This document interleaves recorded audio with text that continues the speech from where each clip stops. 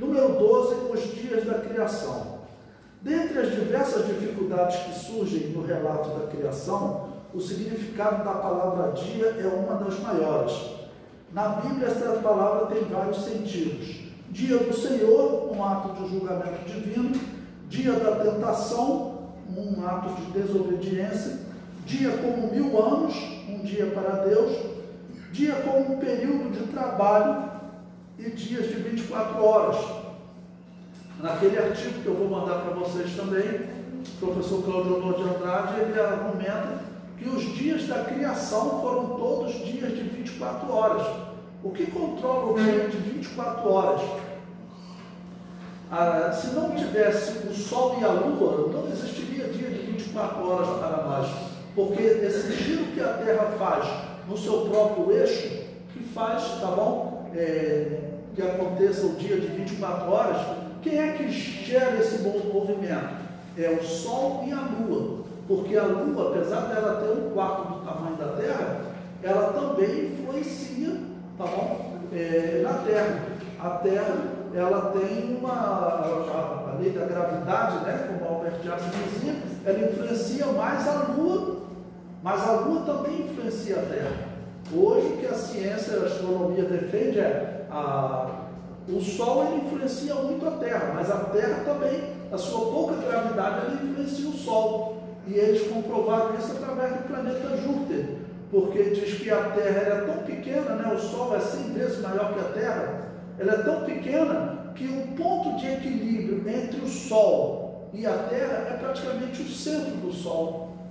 Praticamente você não consegue diferenciar. Mas como o planeta Júpiter já é bem maior, então eles conseguiram ver que o ponto de equilíbrio do Sol e do planeta Júpiter não é no centro do Sol, já é um pouco afastado. Então, na verdade, todos, né, de uma certa maneira, eh, se influenciam e se equilibram. Então, o giro da Terra, na verdade, era feito o quê? Pelo Sol e também pela Lua. E a Lua também que faz o movimento da Terra como um pêndulo, né? Tá? Que gera as estações.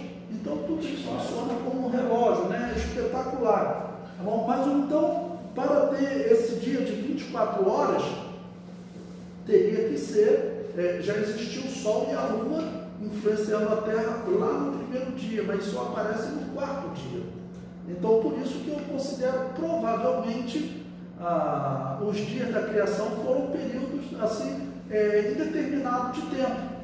Não dá para nós dizer, pode ter sido até menos de 24 horas, o primeiro, o segundo e o terceiro dia.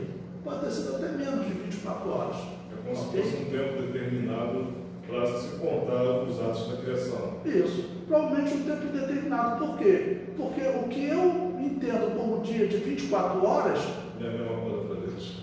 Não é a mesma coisa para Deus e também os elementos que controlam isso, o Sol e a Lua, eles não existiam no primeiro, segundo e terceiro dia, né? Então eu comento aí, olha. De todos esses, os mais prováveis seria dia de mil anos, de 24 horas, ou dia como um período de trabalho. Quanto ao ser dia de mil anos, parece ser pouco provável, pois se a Eva foi criada no terceiro dia e a luz do sol só atingiu a terra no quarto dia, como poderia esta erva verde sobreviver por mil anos sem sol? Também, se Adão foi criado no sexto dia e viveu 930 anos, ele teria morrido antes de acabar o descanso de Deus, que teria durado mil anos. Não temos como definir se foram dias de 24 horas ou dia como um período de trabalho. Porém, este segundo parece mais provável. Tudo indica que a palavra dia representa um período de trabalho divino. Isso é evidenciado quando é dito que toda obra ter sido feita em um dia. Tá bom? Em Gênesis 2,4 diz no dia que Deus criou todas as coisas.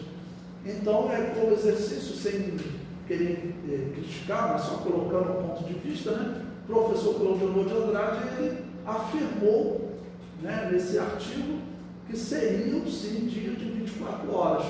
É, eu, eu acho complicado afirmar isso. Quando nós não temos resposta, melhor é nós colocarmos no âmbito da possibilidade. Como eu disse, eu não posso garantir que são dias de 24 horas ou de mil anos, então me parece mais razoável entender como é, um período de trabalho de Deus. Né? Quanto tempo durou, ok?